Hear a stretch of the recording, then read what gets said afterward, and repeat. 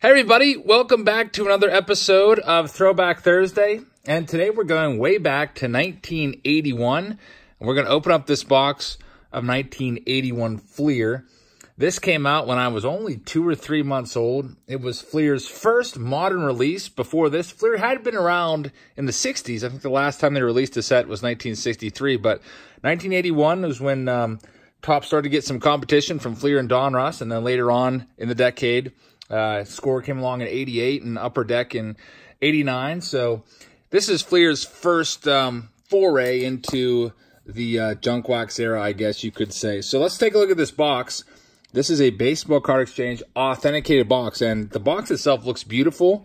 Um, the corners on this box are perfect, and it actually is from a sealed case, which if you're going to buy an authenticated box and you want to pay a little bit of extra money just to have that peace of mind, if you can find an FASC box, that's uh, the best route to go. So this box was actually pulled from a sealed case and witnessed by the owner of the baseball card exchange, Mr. Steve Hart. And an interesting thing about this box is there are two free packs in here for Mr. Retailer, which means they get an extra 60 cents profit if they buy these Fleer boxes to sell at their store. So um, it advertises 36 on the box, but there's actually 38 packs in here uh, which is pretty cool. So that being said, the top cards we're looking for in 81, we're looking for some rookie cards here of Kirk Gibson, um, Harold Baines, of course, newly uh, elected Hall of Famer there. Um, Fernando Valenzuela, Danny Ainge, more famous for his NBA career, obviously. Jeff Reardon. And uh, we're looking for the big stars like Nolan Ryan, Rickey Henderson, and all of those guys. Uh, in terms of error cards, there's one error card that's semi-valuable. It's a Craig Nettles instead of Graig Nettles. We'll be keeping an eye out for that one. So we'll see what we find. Let's get this bad boy opened up. We do have some people that bought into this box break, and Darren C is going to get all of the cards from the top left. So we'll start out with Darren. Darren's got a channel called Comfort Cards. He opens uh, a pack a day on there if you'd like to check him out. Let's see what kind of... Uh, cars you can get out of this. So let's take a look at these. Oh, here we go. There it goes. Take a look at these packs here. There should be two extra packs. See these packs hidden in between? Um, basically, we'll just open those up at the end and divide them up amongst the people that bought these stacks. But here are Darren's cards. Bonus pack. We'll just throw that aside over here. Take a quick look at the wrapper here. It says Premier Edition. And these also came with bubble gum which um, didn't last too long because Topps wasn't too happy about that. Took him to court, and um, basically Fleer had to change up their um, product and put stickers in. Um, Fleer put stickers in, and Donruss put puzzle pieces in, starting in 82 for a good many years. 17 cards also, which is pretty nice. And here's the back of the pack. Looks like you get a baseball cap uh, for four bucks. So let's go and see what we have in this uh, stack of 81 Fleer for Darren. There's, whoa, that gum looks very, very white. But let's see. Luckily, it looks like it's not going to be making any stains, which is nice. All right, we have Mike Phillips, Rowland Office from the Expos, Phil Niekro, Hall of Famer right there. Um, Bobby Cox, another Hall of Famer. Steve Garvey, really solid player. J.R. Richard. And then we have a good old Red Sox baseball checklist. I used to hate checklists when I was a kid. I felt like it was a wasted card. Oh, you got a double checklist pack. That's a winner. Some people do like their checklist, but for me, when I was a kid, I hated checklists. Maybe you were the same. Maybe not. All right, next pack for Darren. Darren likes his Rockies, but the Rockies weren't around in 1981, obviously. They didn't come into play till 1993. So, Darren, I've been meaning to ask you, when the Rockies aren't in play, who are you looking for? Just the big hits, I guess. The uh, the good rookie cards. I don't know if there's a team that you followed before the Rockies. Steve Carlton, pitcher of the year there. Vida Blue, Joe Youngblood, and Ron Reed. By the way, this is what the back of the cards look like. Pretty cool. Um, one thing that you'll see that is an error, an uncorrected error on a lot of these cards, is the pitchers. It says major and minor league batting record. Let's just a pitching record, but they did it for every pitcher supposedly. So there's like Vida Blue, another pitcher says his batting record. Steve Carlton, it's his batting record. Um, they made that error on every card, so basically about half the set has an error um, on every pitching card, but doesn't really uh, add any extra value because if it's, un if it's an uncorrected error, that doesn't add anything at all to the card. So here we go. Manny Sanguillen, who uh, I'm starting to get this uh, gum residue on my hands. Manny Sanguillen, who owns the uh, Manny's Barbecue out in center field. George Foster, part of the Big Red Machine. Joe Morgan, Hall of Famer. Some of these are slightly sticking together. Mike Tyson. Used to love Mike Tyson's Punch Out for NES back in the day. Different Mike Tyson, though. Obviously, there's Bobby Bonds. That's Barry's father. Neil Allen. Next pack. By the way, there were 660 cards in the 81 Fleer set, and that was kind of the uh, standard for Fleer. I remember collecting Fleer in the late 80s and early 90s, and there was 660 cards. There's Jim Tracy, former Buccos manager. Ken Griffey Sr., Steve Howe, he had some substance abuse problems, unfortunately. Keith Hernandez, and Don Sutton. Always thought Don Sutton's hair was definitely a little interesting. Don Sutton, Hall of Famer. Next pack for Darren. The uh, most valuable card in the set, if you're looking at PSA graded cards, that Harold Baines goes for around 100 bucks or so. Um, if you just go by ungraded cards, there's Joe Torre. They list the Rickey Henderson in the Beckett Almanac is a $6 card. Of, of course, you can obviously find it usually for a lot cheaper than that. John Montefusco looks like he wasn't really ready for the picture. It looks like he's about mid-sentence there. But they just took it anyway. Bill Buckner, rest in peace, Bill Buckner. Looks like we got about four packs left for Darren. And then um, Darren, will get, you'll get the um, top several cards off of the uh, bonus pack. Fergie Jenkins, Hall of Famer. He's a good one. Dave Stieb. For some reason, growing up, I didn't like Dave Stieb that much. I don't know why. This is a Dave Stieb second year card, but sometimes when you're a little kid, you just don't like different players for random reasons. Like he might have taken a bad picture on a card and you just don't like him because of it. There's a nice card. The 400 home run club, Carl Yastrzemski, had a really nice, solid career. Hall of Famer Carl Yastrzemski. And our next pack Ron Say is on the back from the Cubbies.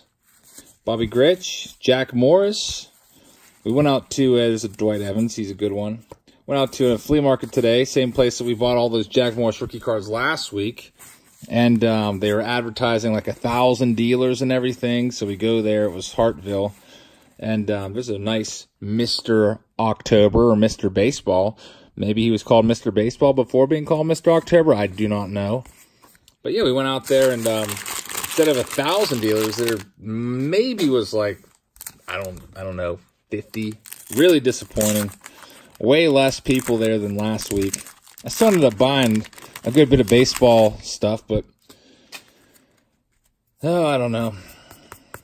Almost um, did a 91 Bowman break tonight instead of 81 Fleer, but I've had this 81 Fleer from a sealed case box for a while so I decided we should do it. There's a Dennis Eckersley not looking too happy there. Eckersley had a nice career. He's a Hall of Famer. He he did both, started and relieved. We got a lefty golden arm, Steve Carlton. So Fleer was really all about Steve Carlton. He had his own Pitcher of the Year card. Now he has a golden arm card. And the rest of that pack was mostly commons. Last pack for Darren C. See if we can find that Harold Baines or Fernando Valenzuela. Fernando Mania was in full swing in the early 80s. Got a Rod Carew on the back. That's a nice one. Good old Rod Carew, Tony Armas. Hey, we got the Rickey Henderson most stolen bases in the American League. This is his second year card. Card number 351. And um, this one is not his uh, base card. This is like a special card. He has an additional card in there without that um, tagline there, but still pretty cool. Looking over my shoulder at the Beckett magazine, listed at $3. There's an Alan Trammell, shortstop, Hall of Famer there. Love Alan Trammell rookie cards. His rookie card, 78 Topps, is always tough to find in clean condition. A lot of the ones that I see out and about have a little printing flaw with the ink. There's a Jim Rice, Hall of Famer, and Don Zimmer, good old Don Zimmer. Rest in peace, Don Zimmer, and Rod Cruz. That last pack was actually really good for Darren. Congrats on a nice solid pack there. And we're going to give you a couple more cards, Darren, coming off those bonus packs. All right, let's do the top right now. Let's move the box back in view. We'll take uh, the top right for Jared. Jared had a nice night yesterday. He was in the uh, 2019 Bowman Mega Box break. Opened up 180 boxes. He had the Rays in one of those breaks and actually ended up getting the Wander Franco Mojo autograph, which is pretty awesome. So let's see if Jared can pull a Harold Baines or Fernando Valenzuela and have some more good luck here. This first pack looks like um, Clint Hurdle might be your best player so far. Not a whole lot of good stuff coming out. There's Dennis Martinez. Talking to my brother. I was like, how many more Dennis Martinez rookie cards do we need? Because like we were, almost went back to that same booth that had all the quarter cards. But we were talking and we're like, we probably bought all the uh, good quarter cards last week. And we doubt that he probably restocked. Ended up buying just a bunch of top loaders from that guy today. All right, here's our next pack. Again, it looks like it's mostly commons. Common cards are usually worth, I don't know, five cents. Whenever I buy collections, I pay a lot less than five cents per card. I usually buy them for, if I can find them for this cheap, I'll get a thousand cards for about five bucks or something like that. So uh, that's kind of how I compiled a lot of uh, my collections, just buying collections for cheap. There's a Tony Perez Hall of Famer. Sometimes there's some good cards mixed into those collections. It's mostly junk wax era stuff. Really nothing from the uh, 70s, unfortunately. Love the 70s era. 70s, 60s, and 50s, just because I wasn't alive then, so I don't have a lot of those cards. Growing up was always tough to find those cards because um, seems like they were always kind of at a premium. Earl Weaver, Lou Whitaker. It's another guy I like, Lou Whitaker, like his rookie card, 78 Topps. There's the Danny Ainge rookie card. All right, Danny Ainge, Mr. NBA. Nice looking card there. I don't know much about Danny Ainge or the NBA, but I do know that this card is um, one of the best cards in the set. So we'll penny sleeve that one for Jared. I don't know if, Jared, you like the NBA or not. Really can't tell you much about Danny Ainge, but he played a couple years of baseball and then made the decision to uh, transition over to basketball. And I guess it ended up being a, uh, a good call by Danny Ainge. One of the uh, rare basketball, baseball two-sport athletes, Paul Molitor. We've had some football, baseball guys recently. You had Bo Jackson, Deion Sanders, Brian Jordan. Um, there's been a few. All right, here's our next pack. Got Phil Garner, Gold Glove, Jim Rooker. I'm kind of mad there. Randy Jones.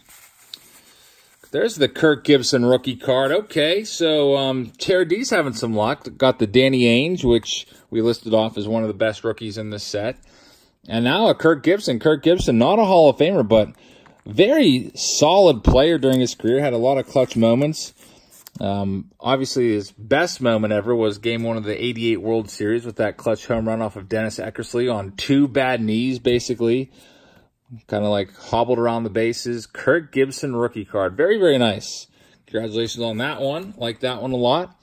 We got Woody Fryman. Looks like he's actually a ball boy there. Maybe filling in for the ball boy on the sidelines. Jerry Reuss. He's another guy that always looked like he was super old in all of his cards to me. Uh, Charlie Hough was one. Jerry Reuss was the other one. Always looked like he was about 65 years old. All right, next pack for Jared. We got Doug Rauch at the top of the pack. Rick Russell, former Bucco there. There's the Jeff Reardon rookie card. He was um, one of the top closers in the game for a long time. Obviously ended up getting overshadowed by some other guys like uh, John Franco came along, was a big deal for a couple years, and Dennis Eckersley, and eventually Mariano Rivera and Trevor Hoffman made Jeff Reardon be forgotten by some, but not all. But Jeff Reardon was definitely a solid reliever slash closer in the mid to late 80s. All right, let's see. We still haven't found a John Wathan yet, which I was a little worried about that there's a nice Jim Palmer. I don't know if you saw the 81 Donruss video that I did, but it was absolutely awful where every pack had basically three John Wathans in every pack. It was all, for some reason, all Royals and Yankees cards, and it was absolutely ridiculous. I could not believe it, that that happened to me. I almost didn't put the video but I figured, you know what, I might as well. Gaylord Perry, it's uh, it's become a classic, and people always tease me with John Wathan memes and stuff like that now because of it. Carl Yastrzemski. So we're having a lot better luck in this uh, 81 opening. George Brett, 390 batting average, which is crazy. A 390 batting average in 1980. Flirted with 400, but didn't quite get there. All right, next pack, we got Lloyd Moseby with some gum dust on him. Sixto Lezcano. Then we've got Tommy John, picked up his rookie card last week at the flea market. Willie Wilson, great leadoff hitter for the Royals. Ron Davis, Jerry Koosman. My brother picked up his uh, second year card today for a dollar. It was on the front of a grab bag. Eddie Murray, early Eddie Murray card, his rookie 78. Love that card. And Chet Lemon rounds out the rest of Jared's pack. So, you know what we'll do, Darren and Jared, since we do have these bonus packs, we'll um we'll bust the one up in between both of you. And uh, we'll give Darren the top um, cards, and uh, we'll give Darren the top eight, and Jared the uh, bottom. Um, no, we'll give Darren the top nine, and Jared the bottom eight. We'll do it that way. So one, two, three, four, five, six, seven, eight, nine. These go to Darren C. Give you some extra cards. Looks like there was, wasn't anyone great in there. We'll give Jared the bottom ones. And um, that was pretty much a common pack. Jack Clark had a great career. Uh, Tom Herr, a really solid career too. Part of that nice Cardinals team of the mid to late 80s there. Uh, nice. I think he usually batted second in their order, but overall great player. That was a nice top of the lineup there with uh, Vince Coleman, Tommy Herr, Willie McGee, Jack Clark. All right, next up, bottom left, Chris Wills is up. Put your whole name on there because we do have at least one other Chris W around that sometimes buys in the breaks. I don't want to confuse anybody. So here we go, Chris Wills. Let's see if you can find the Fernando Valenzuela. We shall find out. I already found the Gibson and the Danny Ainge. Also looking for Harold Baines. See if we can find Good old Harold. Next pack. Definitely not going to try the gum. Sometimes the gum looks appealing. I remember after doing the 82 Topps break, I think it was 82 Topps, the, there's the Graig Nettles. That's the corrected version. The air says Craig with a C. After doing the 82 Topps break, the next day I was down here just, I don't know, cleaning up or opening some more cards, and I actually Started eating a couple pieces of the 82 gum, just real small little bites of it, and it the gum was like pristine. I, I, don't remember if that was from a sealed case or not, but it looked like the gum had just come out of a pack like yesterday. But I didn't get sick or anything, so I guess um, it was fine. Here is our next pack. Luis Tiant. Not a bad card there. Not much value to Luis Tiant, but still great pitcher. Looks like they have different ads on the back of these. This one is for a giant 3-inch photo button of your favorite star. I wonder if those are still around. What if they have different offers on all these? I wasn't really paying much attention. They had the hat offer on the first pack I looked at. There's Mark the Bird Fidrych. Rest in peace. Lance Parrish. Carlton Fisk, that's a good one. Carlton Fisk. Enrique Romo, looks like he forgot his hat. Richie Zisk, part of the uh, Buccos there for a while in the 70s. Triple threat. This card actually um, is the most valuable card listed on recently sold listings, but that's just because I think the one that I was looking at does not have a number on it. It's PSA 10 going for like 200 bucks, but it's without a number on the back, so this one does have a number on the back. Still a cool card, though. Triple threat. That's the uh, 1980 World Series champions right there. Schmidt, Rose, and Bowa. The Phillies would win the 80 World Series and be commemorated on some special cards in 1981. The Phillies actually start off the 81 Fleer set. Back in the day, Fleer used to arrange all of their cards by teams. So, like, cards number like 1 through 25 or whatever would be a certain team. And they uh, chose the Phillies to lead off their set to honor them as the World Series champions, which is pretty cool. I always liked how Fleer would do that. Would make sorting them out a little easier, I guess. Sometimes you could even just sort them by looking at them. I used to always sort the cards whenever I was just a kid. I would sort them in stacks of hundreds. Like I would have like a like a zero row I'd call, then a 100 row where I'd put all the 100s, like the 5 would go over to the 500 pile, and then I'd resort them again by tens, and then from tens I'd take it down and do it by single digits. It used to take forever. But it was fun to put together sets. I'm sure some of you guys put together sets as kids. Definitely uh, a cool part of being a collector during this time, trying to put sets together and then making a little checklist of the cards you need and looking out for those cards and then getting super pumped when you get like a Dave Bergman. Like, who the heck wants Dave Bergman? Well, if you're collecting a set, you'd be really pumped if you needed that card. That was always a cool thing about collecting. Kind of missed doing that. Tom Seaver, Tim McCarver, two great players there. One's a Hall of Famer. One, um, I don't think Tim McCarver's a Hall of Famer for broadcasting, is he? He's definitely not for a player.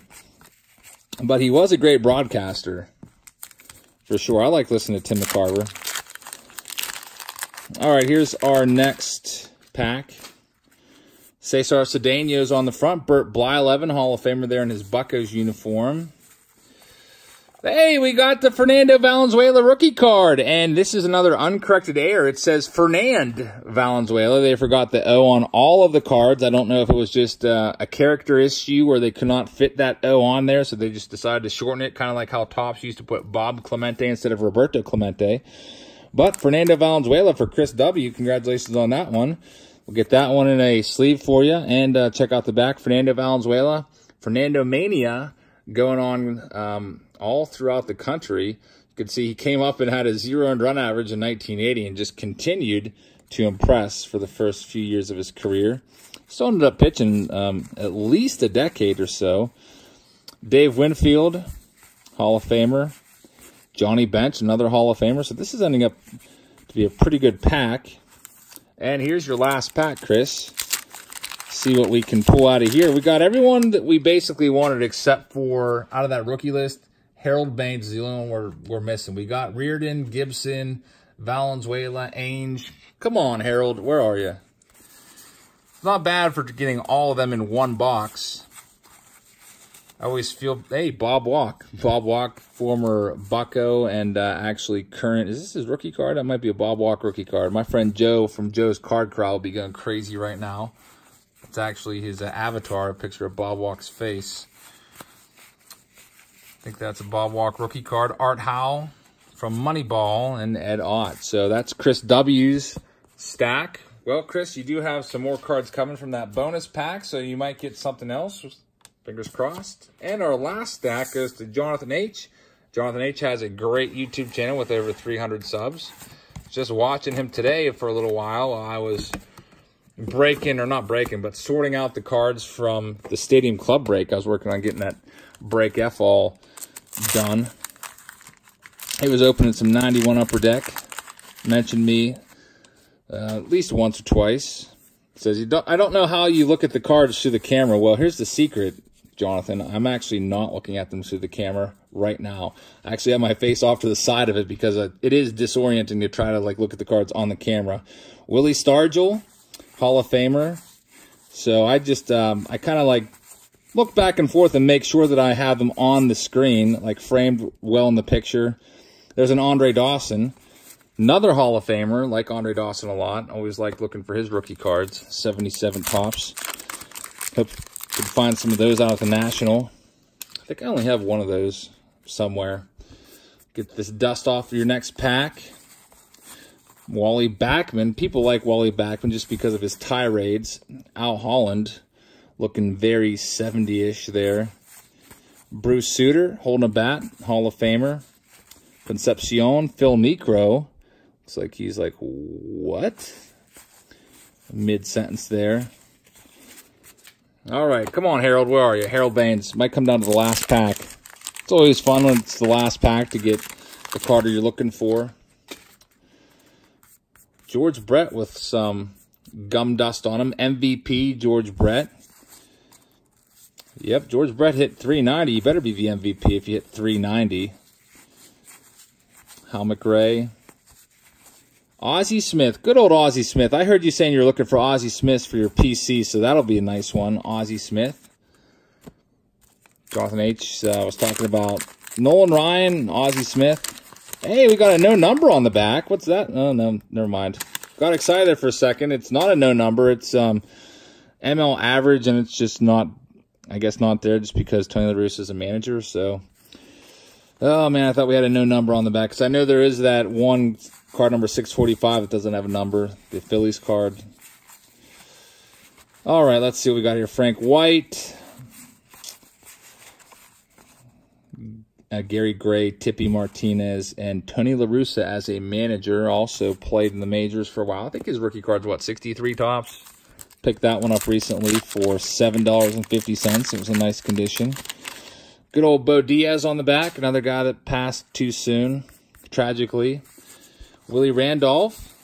Saw a few of his rookie cards out at the flea market last week. Picked a few of those up.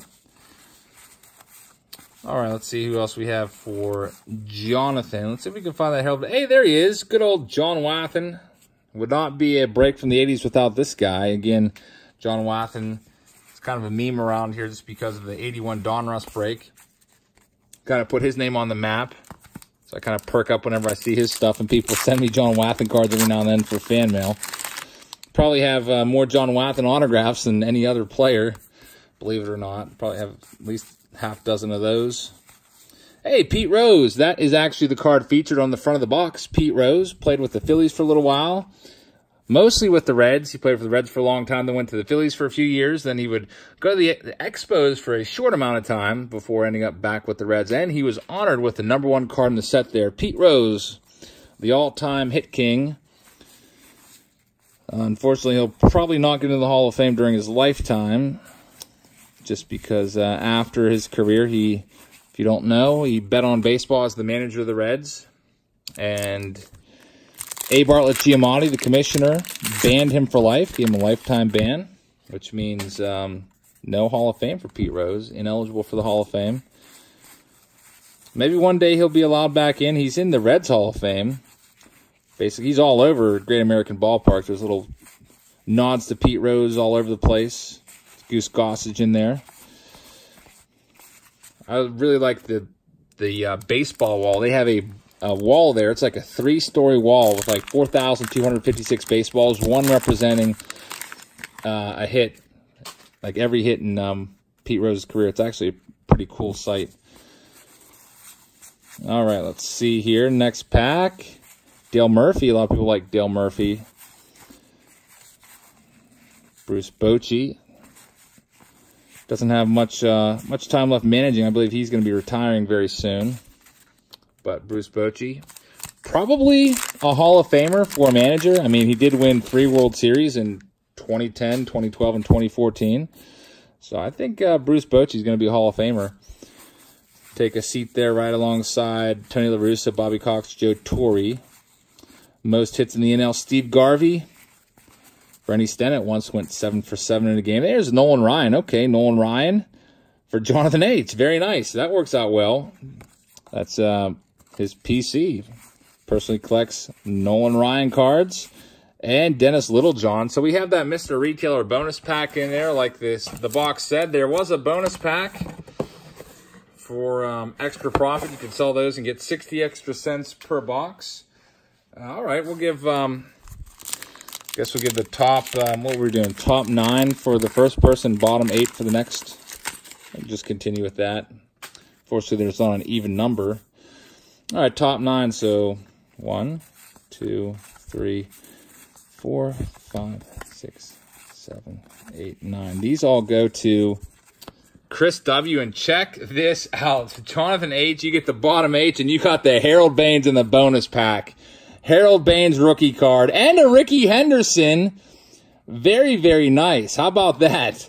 that worked out well, Jonathan H. Harold Baines and Rickey Henderson regular card. We got to get the Harold Baines sleeved up. So that actually ended up being a great box. Very well balanced. Not a whole lot of repeats and doubles or triples. Maybe a couple here and there, but we got one of all the major hits in the set. Harold Baines, Valenzuela, Reardon, Ainge, um, and so on and so forth. So Kirk Gibson, very, very nice. And um, always like seeing these Hall of Famers. Rickey Henderson, Lamar Johnson, obviously not a Hall of Famer. Sparky Anderson, another Hall of Famer, and Jerry Turner. So those that those are going to Jonathan H. Overall, I think that was a pretty nice throwback Thursday, going way back to 1981, and the box is in beautiful condition. Um, from a sealed case, sharp corners. Kind of compiling a lot of these boxes. They make nice display items, I guess. Um, I saw somebody selling this empty box out at a uh, flea market or antique mall for like 15 bucks faked me out, thought it was a sealed box, which uh, obviously boxes from a sealed case, these go for once again around like $100 after all said and done, a little over $100. So thank you so much for watching, everybody. I hope you enjoyed the video. Please take a minute and hit the subscribe button if you would. Like the video and leave a comment. And we got Fan Mail Friday tomorrow, and then we're doing a uh, giveaway on Saturday where we will be giving away some All-Star Game tickets or Home Run Derby tickets, your choice, um, for next week uh, out in Cleveland. So thanks again, everyone, for watching. I hope you enjoyed the video. I hope you had a great 4th of July, and I'll see you all tomorrow.